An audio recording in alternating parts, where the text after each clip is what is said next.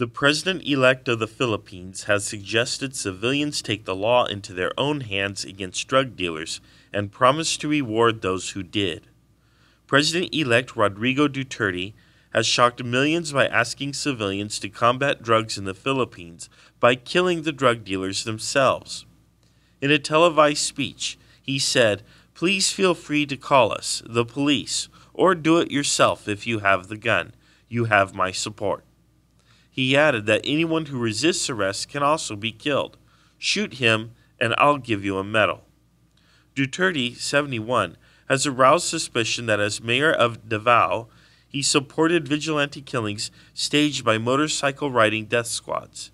These squads routinely rode through town, targeting and killing suspected drug dealers. Duterte also warned that he would kill corrupt police officers.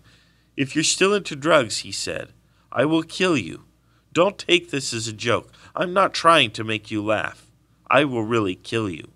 Thank you for watching our exclusive California Network Daily Briefing. Please subscribe to our channel and tell us how much you like our news in the comments below.